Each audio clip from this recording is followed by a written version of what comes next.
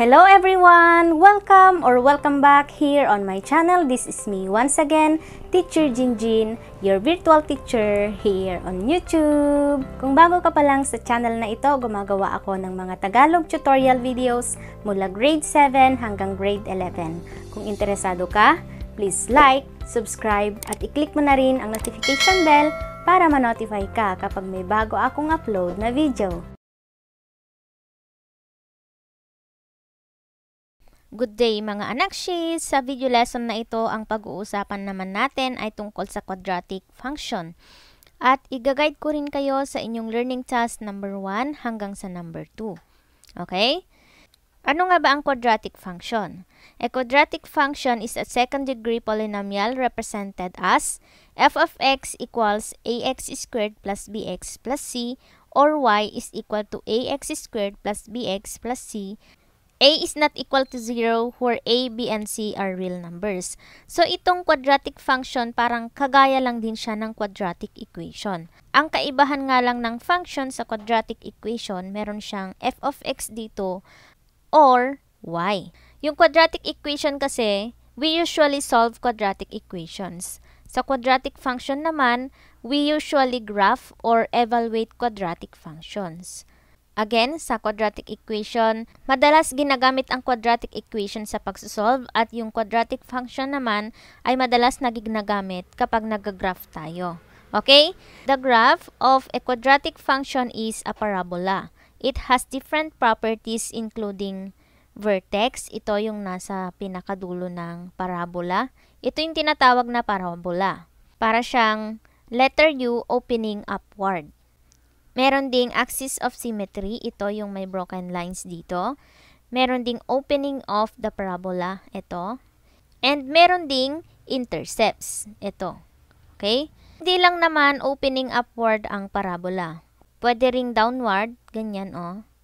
Or pabaliktad na U. Pwede ring opening to the right. At pwede ring opening to the left. So, ganyan din. Okay? So, basta pag may parang letter U siya, yun ay tinatawag na parabola at yun ay graph ng quadratic function. Okay? Then, here are some examples of situations that models quadratic functions in real-life situations. Number 1, targets an object in upward direction. Number 2, throwing an object downward. So, parang pa ganun, yung pabaliktad na letter U. So, dito naman sa number 1, that, uh, pag ganun siya.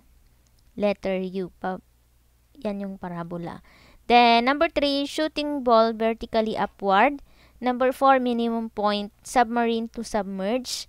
At yung number 5 naman is launching rocket to its maximum point. So, ito na yung hinihintay nyo, yung learning task number 1. Tell whether each picture models a quadratic function or not. Again, pag may nakikita kayong ganito, parabola, opening downward, upward, to the right, or to the left, ang tawag dito ay parabola. At pag merong ganyan, quadratic function siya. Sa tingin ninyo dito sa unang picture, quadratic ba to or not? Parang Angry Birds ata to. Yan, 'di ba may parabola siya? Ibig sabihin quadratic to. Bakit?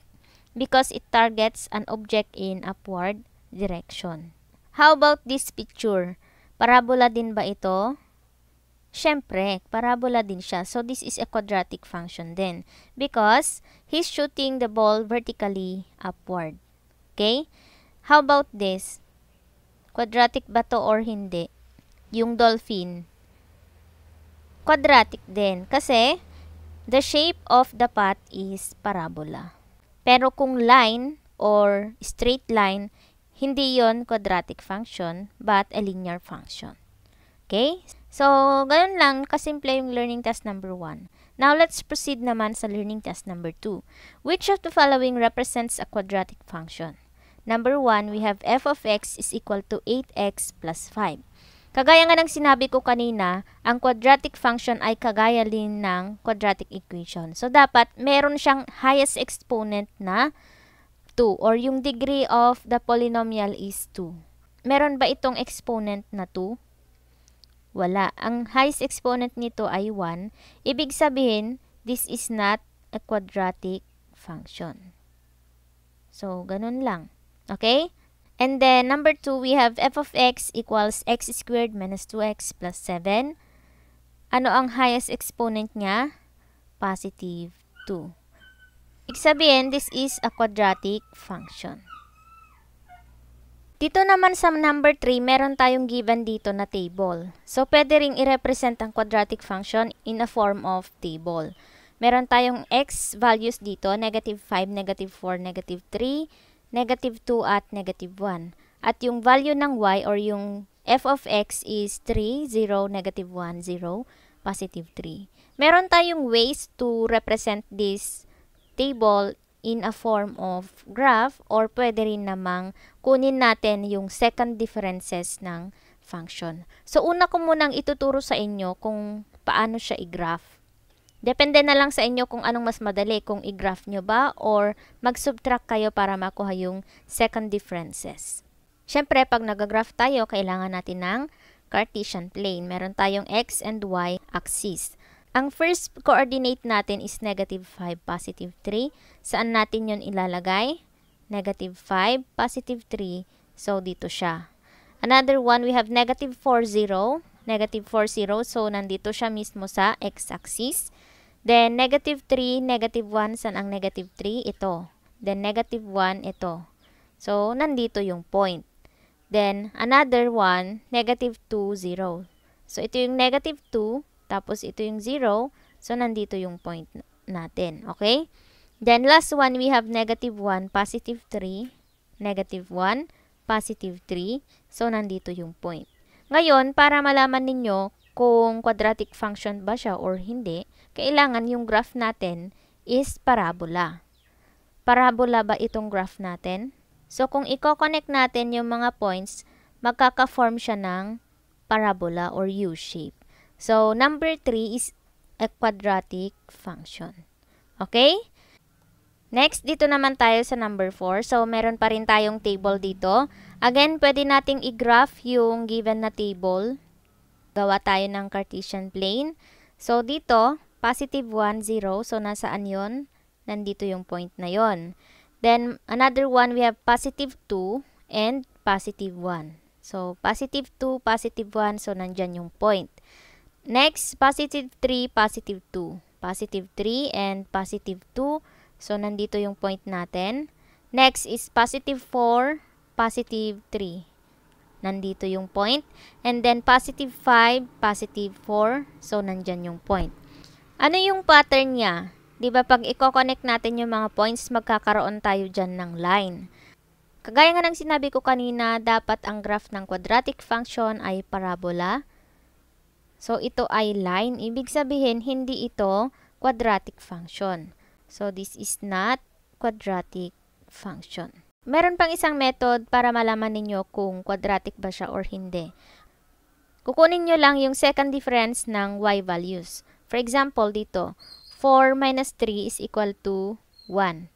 Yung preceding term niya, isubtract nyo lang sa succeeding term. So, 3 minus 2 is equal to 1. And then 2 minus 1 is equal to 1. 1 minus 0 is equal to 1. So, meron ng common differences na 1. Ito yung first difference. Ngayon, kapag kukunin naman natin yung second difference, 1 minus 1 is equal to 0, 1 minus 1 equals 0, then 1 minus 1 is equal to 0. Ito yung tinatawag na second differences. Kung mapapansin ninyo, dito pa lang sa first difference, pare-pareho na yung sagot nila. Ibig sabihin, this is a linear function.